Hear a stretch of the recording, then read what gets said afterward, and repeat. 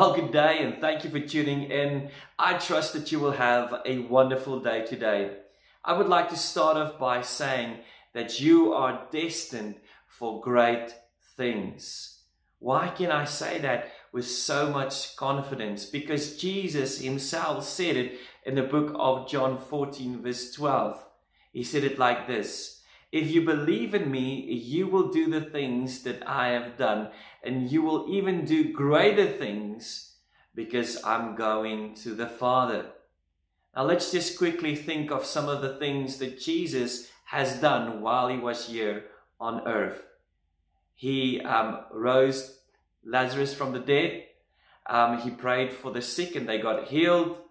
And also, he set captives free. He opened up blind eyes so that they can see, just to mention a few things.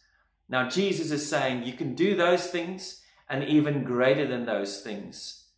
Now, don't be afraid this year. Don't be dismayed.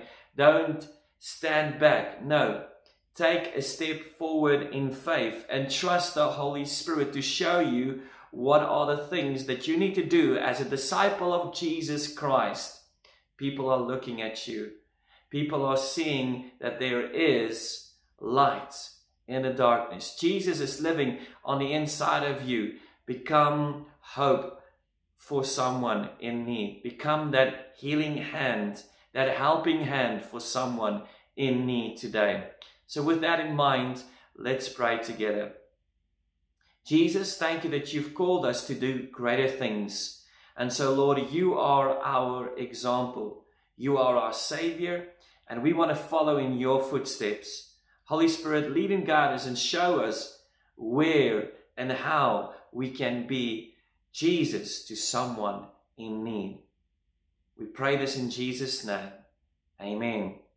Thank you that you tuned in, and may you have a blessed day in Jesus' name. Amen.